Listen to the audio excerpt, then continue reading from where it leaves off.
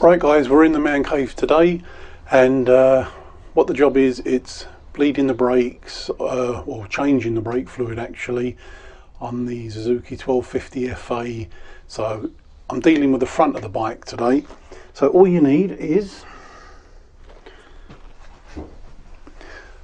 an 8mm spanner, okay, and some call them Phillips, some call them a posi driver and then there's another Japanese name but this particular one whatever it is it fits perfectly on the master cylinder for me anyway.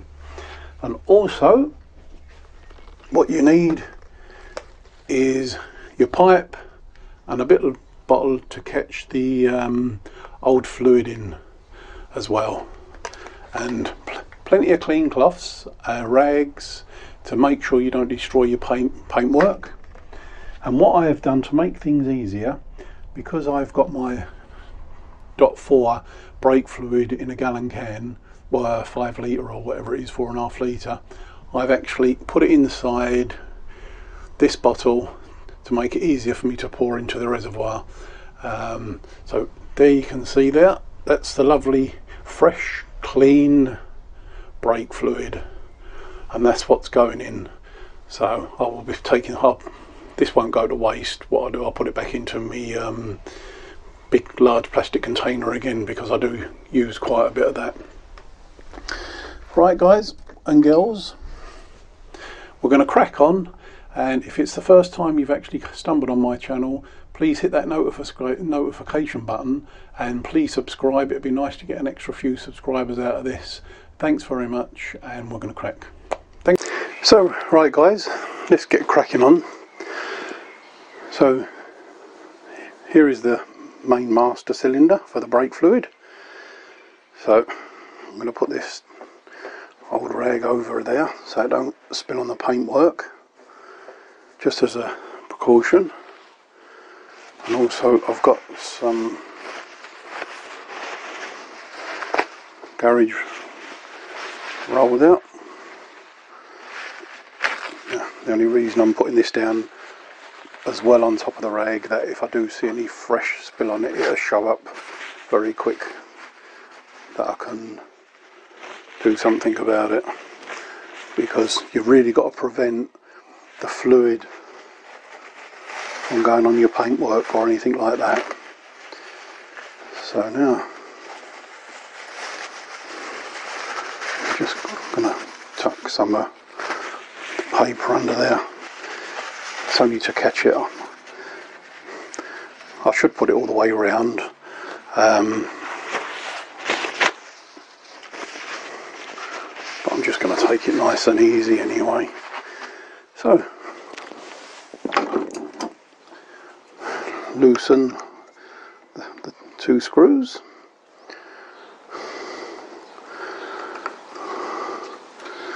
That's number one.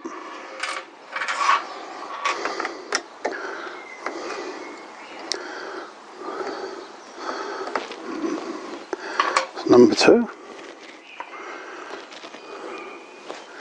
And then just gently lift it gently.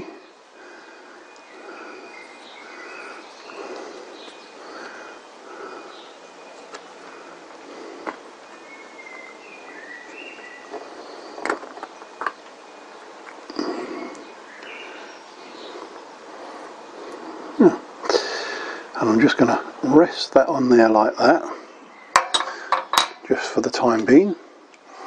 Then I'm going to go down the front wheel at the caliper. Then we're going to take off this dust cap to prevent the dirt going inside there, inside the bleed nipple. Now this bike's fairly fresh, so you might have to put some releasing fluid on there or heat it up to let the um, aluminium expand from the steel. If it does get tight but this won't be a problem on this one so I'm just going to pinch it open. Okay I've pinched it open and closed it there just to make sure I can move it.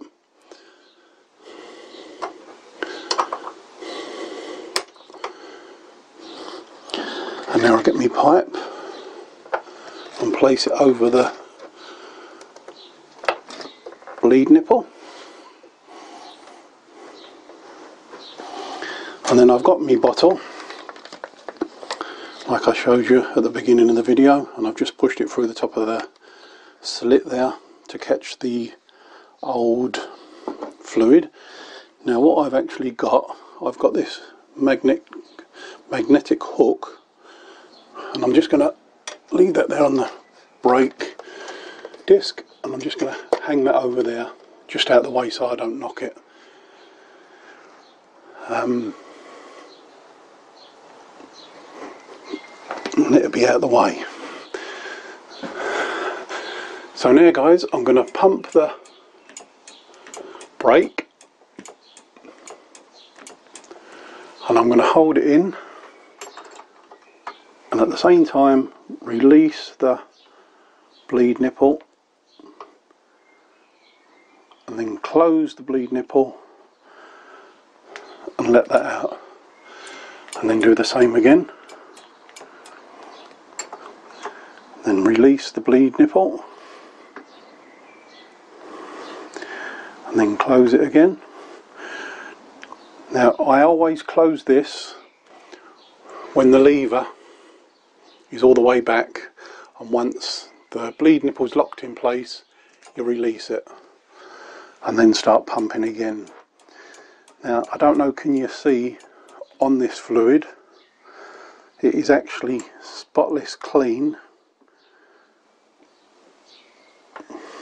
Anyway but I'm just doing this video as a demonstration because I've had one or two people just driving me a bit saying that my fluid needs changing. But I knew it was actually a reflection the way the photograph was taken. But I thought to myself do you know what? It'd be a video for you anyway. So that's the reason. But as you can see that fluid there is perfect. Okay and keep going. Now so what I'm going to do now I'm going to check this. And as you can see it's still very high. So there's no problem there whatsoever. So I, I can keep doing this for a bit longer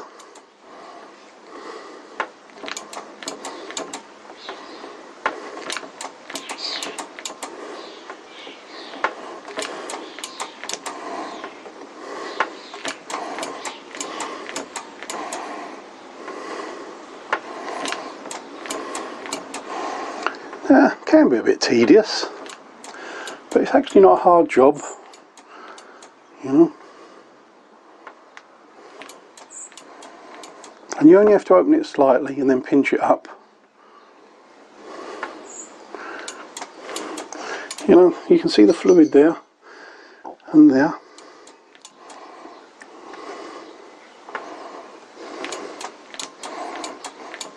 You know, the fluid is actually fresh fluid but obviously when it was done before there was no video.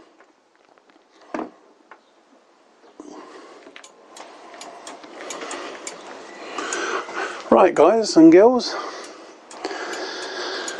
As you can see on the level it's gone down a bit. So I'm now going to top it up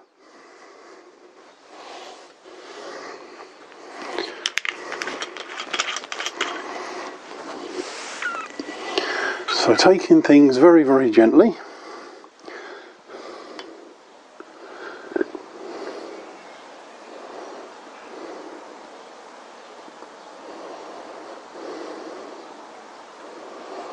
Because there's no rush, take things nice and easy.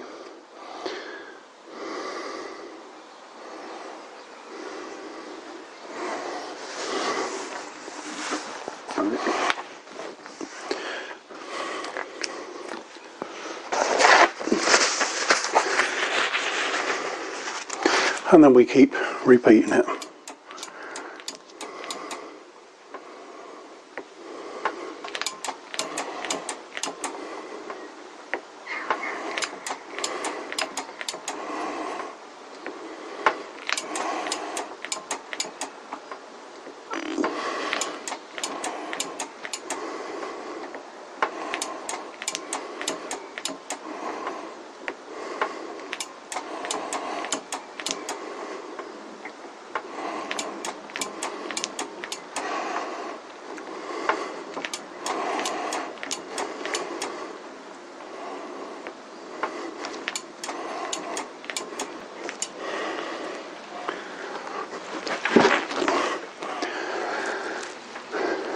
Now we're going to top it up again,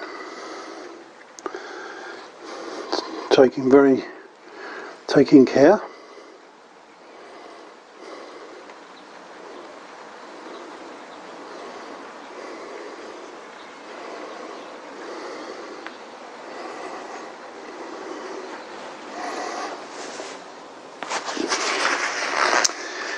Now, depending on what kind of bike you've got, sometimes when you pump it and you pull it tight or let it out, sometimes the fluid moves up and down in here. Um, it's just that I know this bike and I know how she goes on me, so that's why I only leave it like that. I could actually leave it off altogether, but because there was a little bit of fluid under there, I'm just letting it drip back in rather than drip on the bike. But um, if it's the first time doing it and you're not too sure, just cover it so it don't spit up and go over on your paintwork on your tank because this stuff is not good for your paintwork whatsoever. Okay, and because I've been moving it and showing you, a little bit's come down there, but it's okay.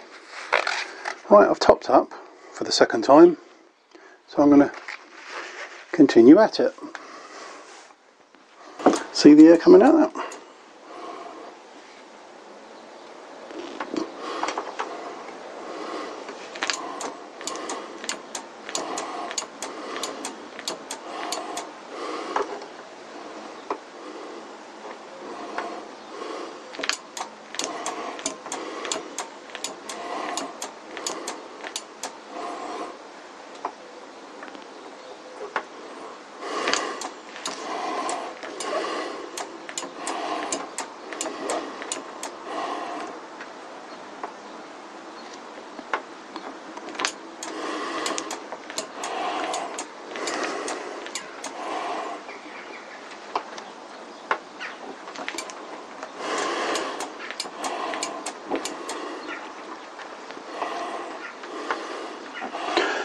Now, I'm just letting you know, when I normally do this, I normally just have that pipe there and that pipe there going into the bottle.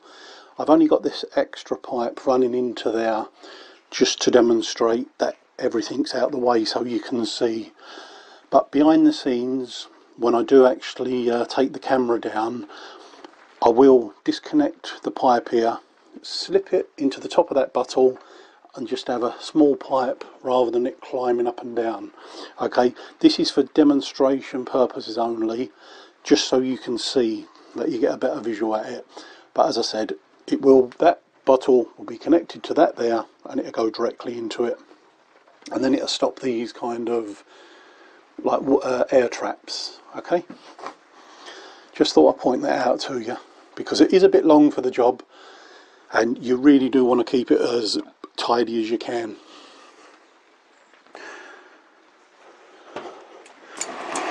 And basically, that is all there is to it. You know, you've always got to keep checking on the master cylinder at the top. You've still got to keep your eye on that. Do not let it go too low because it'll start drawing air into the system. And that is something you don't want to do. You want to keep away from that altogether. So by keeping your eye on it and topping it up, you're staying safe. And what we're doing here on the right hand side of the bike, as you're sitting on it, you do the exact same on the other side.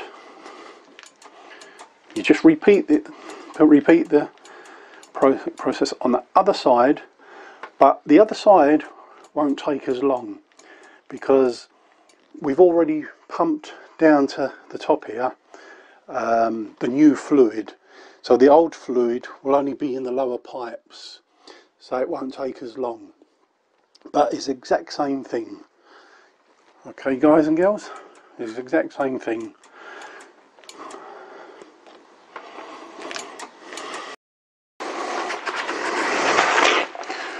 And with another clean and dry piece of tissue, wipe it around Now, do you see this? Because there's a little bit of uh, fluid on it already, just get rid of it. Don't reuse it. That way you won't make any mistakes. and you place that back on there and you put the screws in and if you've seen any of my videos I am a little devil for screwing these in by hand or any nut or bolt to make sure it's way in before you start a lot of people might just stick it on the end of the screwdriver and you have to make that noise and all. Do you see that? It helps if you make the noise. That's what my father always said to me.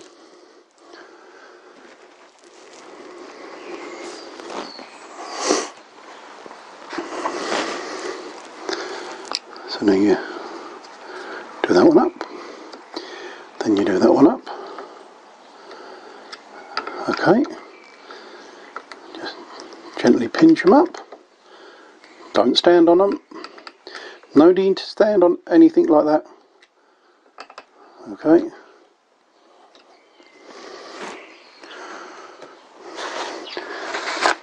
And another piece of clean tissue and wipe it all around.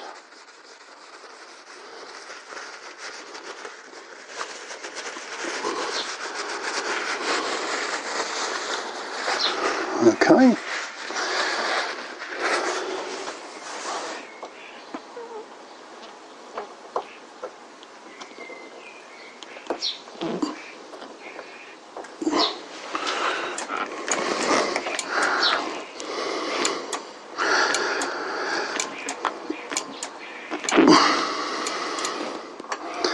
Now,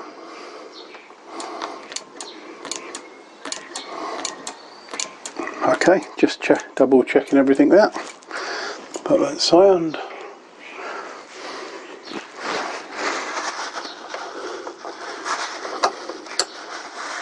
With a bit of tissue underneath there to pull the pipe off.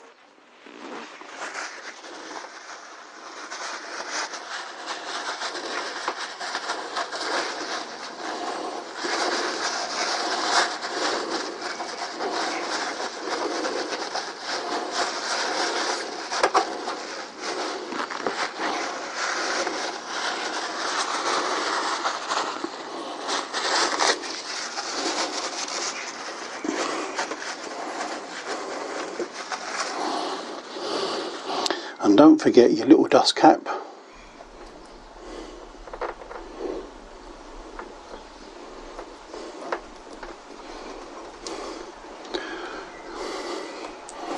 And don't forget, if you do do what I do, pull the magnet off. And there is your fluid inside there.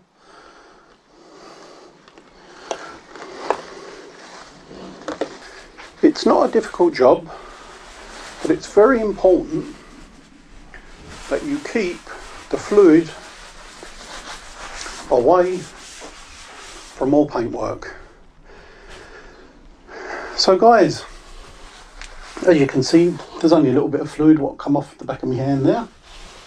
Never went on the paintwork at all.